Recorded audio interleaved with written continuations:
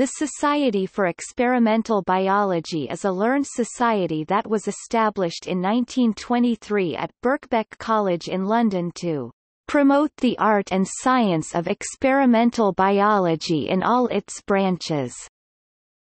The Society has an international membership of approximately 2,500.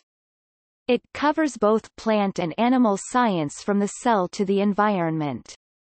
SEB has four sections, Animal, Plant, Cell, and SEB Plus, covering career development, equality and diversity, teaching and learning and science communication.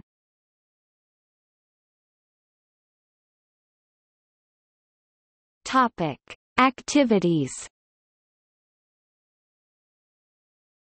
The main activities of the Society are the organization and sponsorship of scientific meetings, the publication of relevant research, and the promotion of development of experimental biologists through education, communication, and career development programs. The Society organizes one large meeting each year, plus a number of smaller meetings.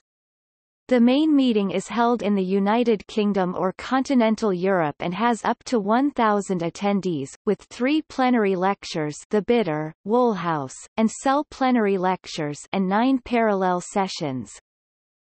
Its publications include four peer-reviewed scientific journals, the Journal of Experimental Botany published by Oxford University Press, the Plant Journal ISSN 1365-313X, published with Wiley-Blackwell, Plant Biotechnology Journal ISSN 1467-7652, co-owned with the Association of Applied Biologists and published by Wiley-Blackwell, and an open-access journal established in 2013, Conservation Physiology ISSN 2051-1434, published on behalf of the Society by Oxford University Press.